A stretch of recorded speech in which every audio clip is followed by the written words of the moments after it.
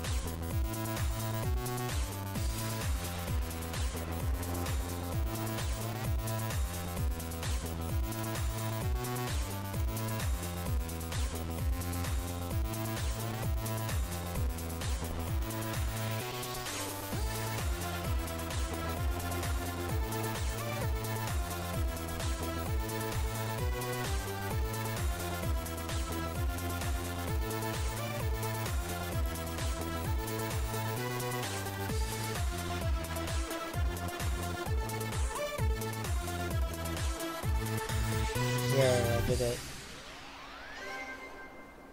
Almost fluked it from 70%, or from 6%.